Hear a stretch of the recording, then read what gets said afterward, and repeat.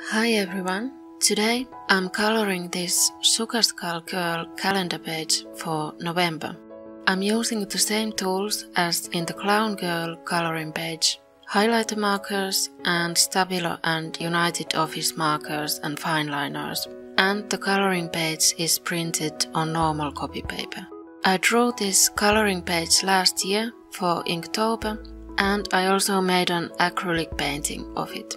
She's a sugar skull girl or La Calavera Catrina, which is an icon for the Mexican Dia de Muertos. My sketch was inspired by the Catrina figurines made by Helena Nares, which I absolutely love. I recommend checking out her Instagram or the hashtag Catrinero to see the figurines. The original La Catrina was a satire of upper class Mexican people who dressed in a European style, made their skin look white with makeup, and denied their own heritage. So she's a skeleton who's dressed nicely.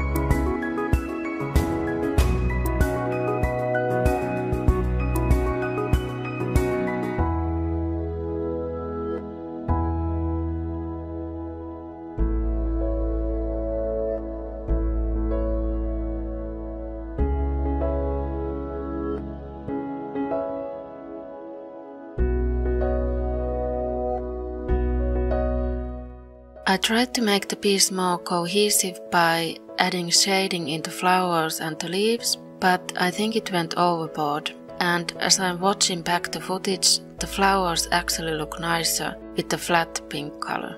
I left the face white because she's a skeleton, or maybe rather a girl dressed as a skeleton. But I shaded the face with blue under the cheeks and in the jawline and in the neck to give it a bit of dimension. This coloring page is available in my Etsy shop along with other coloring pages of my art. It's an instant download, so you'll get the link to the PDF file when your payment goes through, which is usually right away. And then you can print it out and color it. I recommend coloring it with colored pencils, pastels, or water-based markers if you're printing it on normal printer paper. Thanks for watching.